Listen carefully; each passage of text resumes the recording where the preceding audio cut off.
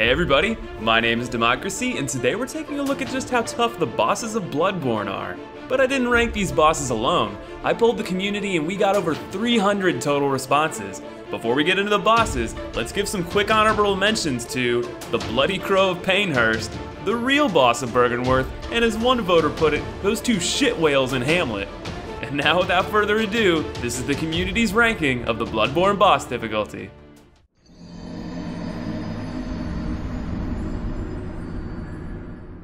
And so we kick our list off with the witches. Upon entering the area for the first time, you might think that the boss is this Tim Burton reject, but if you swing a quick left, you'll notice this moldy old crone in the corner. You kind of meander around the arena for a while until you realize two things. First, this boss seems to pose less of a threat than most enemies you've faced up until this point. And second, these are probably the blindest and most disinterested enemies you'll encounter in the entire game.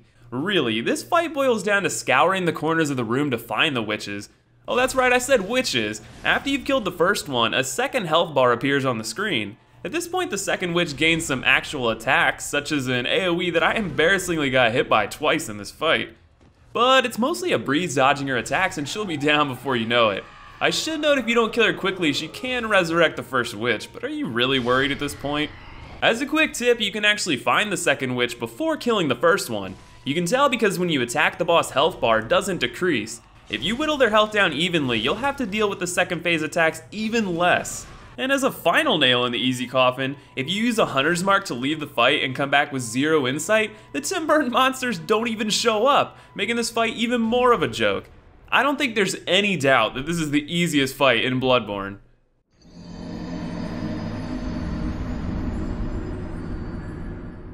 After conquering possibly the most terrifying place in the game, you'll come to this planetarium with a bunch of these blue jello heads. As you see the wave of goobers closing in on you, you might start to panic attack only to notice, hey, the health bar isn't going down. Hey, what are you doing back there? That's right, it's the Phalanx or Royal Rat Vanguard of Bloodborne, but with a twist. Just watch. Oh, well, thanks, that just makes you a bigger target. And just like that, the fight is over. In all seriousness, this boss fight is ridiculously easy. It's all just a matter of crowd control. You'll be best served kiting the group across the room, then rushing in to attack the boss. The only thing to really watch out for is backing off when they group up. Now, you can use the Shaman Bone Blade, an item which makes enemies turn on each other. I've heard of many people using this to great effect, but I died twice pathetically trying to pull this off, so I'll just stick with good old hack and slash.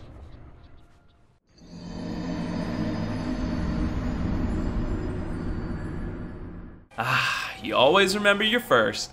This guy has probably one of the coolest entrances in the game. One minute you're just walking down a lonely bridge and then... Surprise, motherfucker! The first time I saw that, I audibly screamed. And then promptly switched to laughter after realizing what a pushover this guy is. You know, I think this boss was intended more as a learning tool than anything else, because the golden rule for a large majority of big bosses in this game is this. Stick to dat booty. I mean it, bob and weave hunters, First you pull off the juke, and then you spank that ass. Rinse and repeat, and he'll be bent over in no time. I will say that I always thought the Cleric Beast might be a lot tougher if he was scaled for endgame. I wonder if FromSoft had the same idea.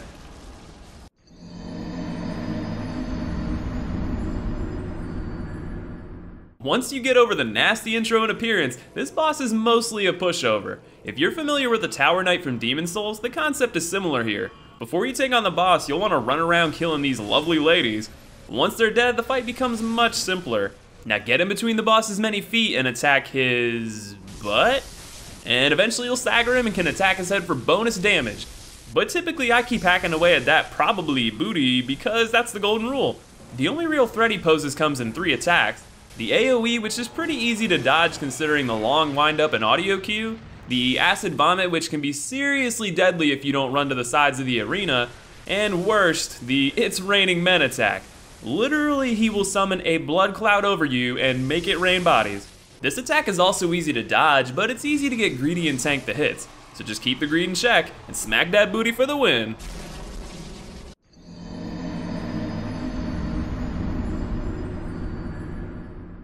Yay, more blue aliens.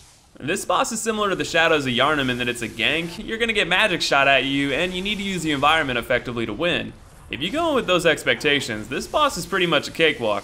Probably the only challenge is that these things hit like a truck, especially in New Game Plus. One of the easiest ways to handle this fight is to focus on one of the four failures while keeping an eye on the rest of the ranged attacks. If you can do that and dodge effectively, you've got this one in the bag. Oh yeah, I forgot to mention that hilarious attack they do when they're below 50% where they raise the roof and summon meteors. This would be frightening if it didn't come from the same direction every time. Oh, you failures just can't do anything right, can ya?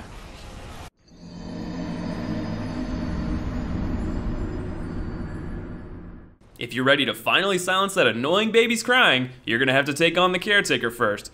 Which, considering this is the final fight before the endgame, this fight is really easy. To be honest, I think this is one of the few bosses I've never died to, and that's for one reason. All you gotta do to win is follow that golden rule. The catch here is it's made even easier by the fact many of the nurse's moves are locked in once they begin. One such attack has her doing multiple hits for many seconds, but it's a long windup, so it's stupid easy to get behind her and just wail on her. The only real threat is if she spawns a clone and brings out the mist, but even then all you have to do is run in circles around the arena until the mist is gone and then finish her off. Not only is this boss super easy, but it's probably one of the only fights in Bloodborne I'd consider boring.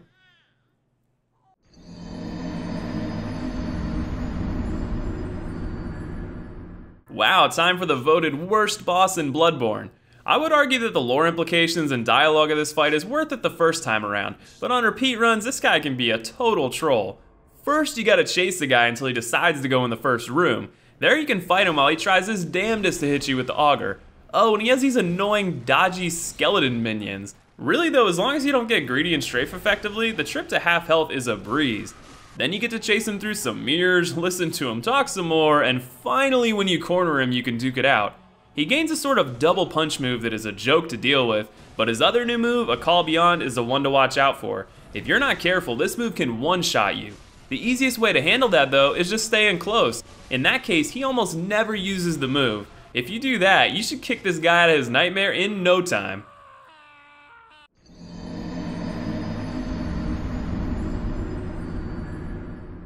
Our first Chalice boss is the Undead Giant with the ball and chain. I decided to only include unique or notable Chalice bosses, and this guy is notable for one thing. Once he enrages at 50%, he will follow up most attacks by swinging his ball and chain wildly. And oh my god, if you get hit by this attack, I ran the chalices on my over-leveled as shit character to save some time, and he still almost one-shot me with my health bar the size of a football field. But if you play the fight safe and back off after every one or two hits, this guy's pretty easy. Really, he's just great at punishing the greedy, which gives him a decent spot on this list.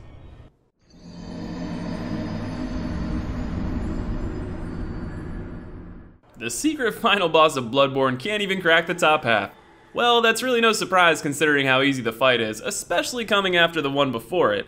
Honestly, this boss is about as generic as they come in terms of moveset, especially considering how many large monsters you've fought up to this point. The only real threatening move of note is a blast that takes all but one of your HP, the caveat though is afterward the moon presence has to recharge, allowing you to regain tons of HP while just beating it down. As long as you can manage this move, you should take down your final great one with ease.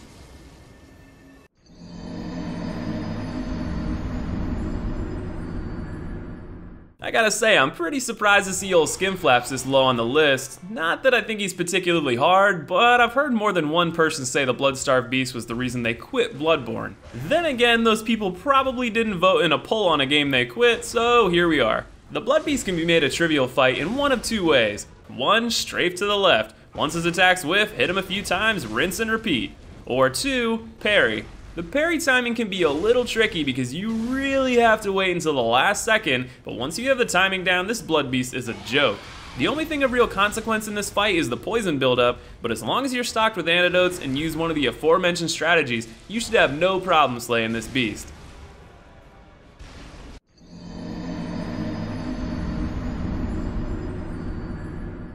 After seeing these buggers on the walls around Yharnam, it was thrilling to see one suddenly drop in to fight you.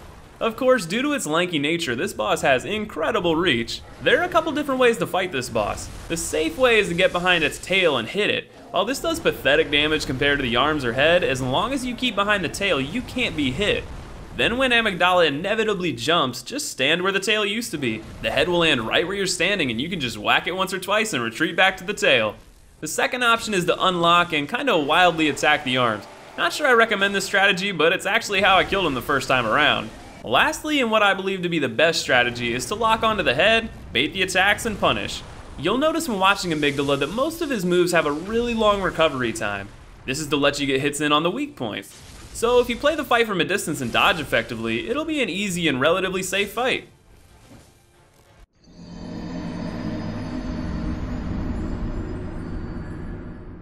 Dark Beast Paarl is the best example of a mixed bag boss I can think of in Bloodborne. It boils down to two categories, those who have the damage to stagger easily and those that don't. If you can stagger him easily by hitting his leg and then keep knocking each leg down, this fight is an absolute joke. But if you can't stagger the beast, get ready to battle the camera and dodge, dodge, dodge. This beast is lightning fast and can be really tricky to dodge. If you want a tip, mine is to wait until you have at least a plus 4 weapon and are around level 35 to 40 before fighting Paarl. If you do that, it shouldn't take you longer than 30 seconds to down this beast.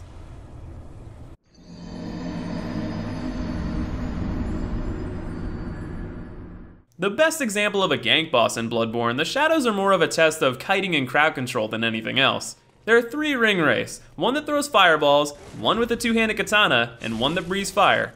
I always aim to take the two-handed katana guy down first as he has the most health and is very dangerous. Once you get any of them down to 20% health, they grow snakes out of their head and get a more vicious moveset. By this time, hopefully the katana guy is nearly dead so you can finish him and focus on the fire breather. Once he's down, immediately head to the fire thrower and keep the assault going. If you give him too much time at this stage, he can summon massive snakes that will likely kill you. But he has the least health of the three and is a pretty easy kill, leaving you with a gangspank to be proud of.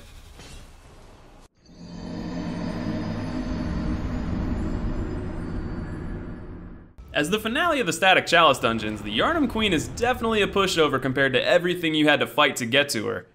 In the beginning of the fight, she just sprays blood at you in a few different ways, all pretty easy to dodge. What sucks is whenever you get close, that annoying baby crying starts, and if you don't move back in a few seconds, you'll be trapped for a moment. This is easy to avoid, but it can make this fight painfully long. Eventually she'll pull out an actual weapon, which is great because she can be parried, and that'll help hurry on the fight a little bit.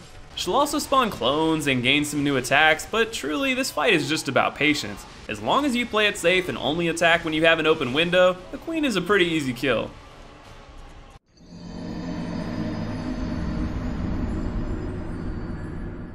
Oh, Vicar, how I hated you in my first playthrough. You're looking at the boss I died to the most in my first playthrough.